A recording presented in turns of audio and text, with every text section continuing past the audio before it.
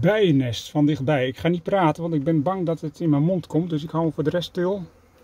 Geniet van de bijen.